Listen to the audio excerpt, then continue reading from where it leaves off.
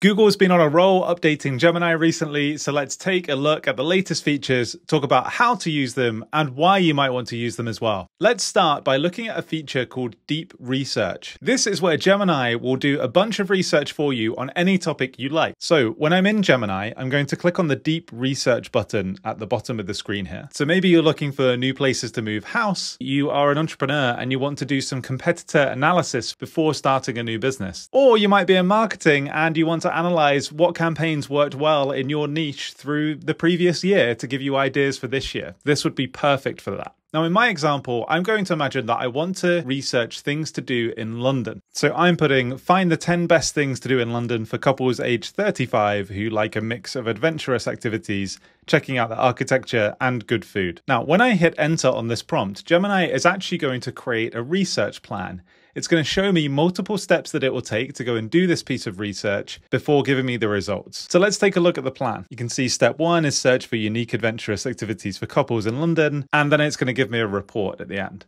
Now, at this stage, I can add or change this research plan. So if I want to, I can click on Edit Plan. It's going to update the plan and start the research. Now, we can see here the research whilst it's ongoing. At the moment, we're looking at Gemini's thinking. So it's talking through the process, and you can see that it's researching all of these websites. Now, imagine if you went through that many websites yourself, it would take you absolutely ages. Whilst Gemini is doing the research, you can leave the chat, do other things that you need to. It usually takes a few minutes, and you can come back and get your report afterwards. A few minutes later, Gemini is done, and here's the research report that it's given me. Let's see how it's done. Uh, it's given me a nice paragraph to introduce. Climbing the O2 at sunset is quite a nice one. And what's nice is that you can click learn more, and it will show you the sources for this information as well. And as part of Gemini's thinking when I was watching it, it does actually go back and verify that the places it's suggesting actually exist and are real. And so it gives you a list of the sources. You can also look back at the thoughts that it had while it was creating it. And when you're ready, you could export this to Google Docs and it will just put it all into a Google Doc, nicely formatted for you to use however you want. The second new feature in Gemini is called Canvas. And Canvas is like an interactive area where I can collaborate in real time with Gemini. So,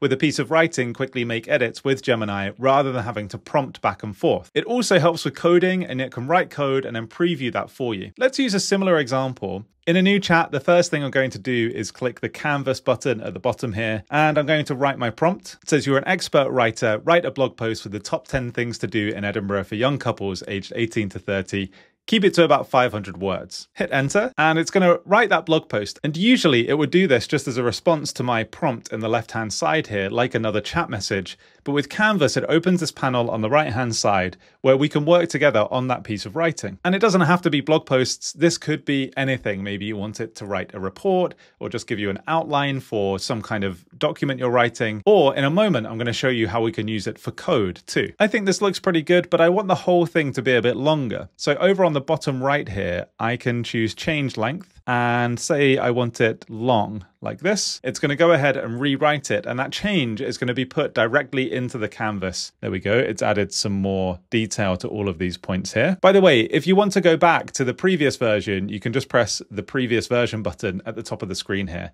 and easily flick through the different versions that it's created for you.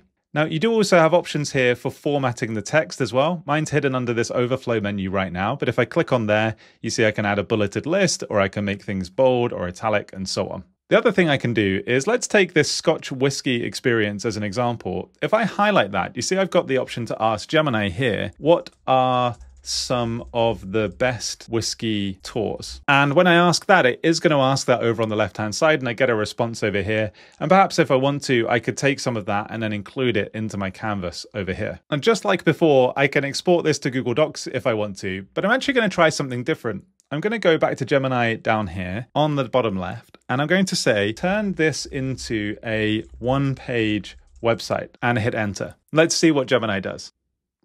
It's writing the code now for a website. This is HTML code that it's writing here. And you see I can switch between the code view and the preview view at the top here. All right, so it's turned it into a one-page website with a gradient background. I want it to be a bit different though. I want the individual items to be in boxes, maybe in two columns and five rows.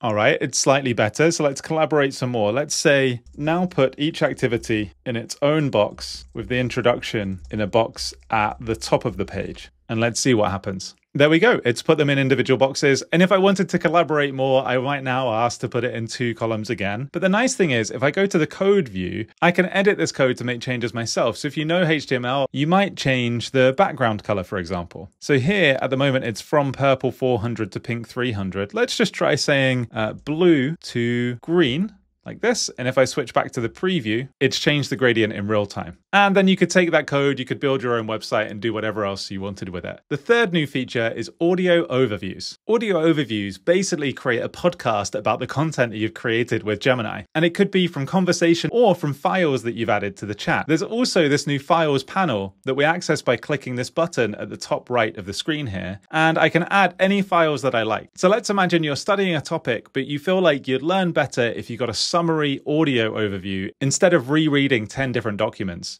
You could upload the documents here, in a moment create an audio overview, and then listen to it on your way into school or work. What I'm going to do though is click on Add Files and choose Drive. And I have this document that's all about London. I'm going to insert that, and I could insert as many as I like, but I'm going to keep it at that one for now. When I've done that, you see I have the option to generate an audio overview now. If I click on that button, Gemini is going to take a few minutes and it's going to create effectively a podcast between two people about all of the information in that document. All right, here's that overview. Let's click play and have a listen. All right, welcome in everyone to another deep dive. Yeah. Today, uh, we are headed uh, across the pond. We're going to London. Very exciting. It is exciting. It is. I've always wanted to go. I know you've been, and um, Yeah, many times. so you've given me like this huge stack of stuff to get through. Mm-hmm. I promise you that is all completely made up. They are not real people that have recorded those voices. It's synthetic, made by Gemini. And remember the research I had Gemini do earlier on? When you've done a piece of research, you can also have Gemini create an audio overview of that. Where we clicked to export that research to docs, if we click on the arrow instead, we can choose generate audio overview and we get the same result here. It will take all of that research that it's done and create an audio overview. The fourth feature released for everyone this year on Gemini is called Gems. And if you want to learn more about Gems, which are like custom experts to help you with tedious or repetitive tasks like writing copy for blog posts, or even just coaching on your resume, or anything you want with custom gems, go and find out more about that in this video that I made here. By the way, I send one immediately actionable tip every week in my newsletter called Workspace Boost. You can sign up completely for free at the link in the comments.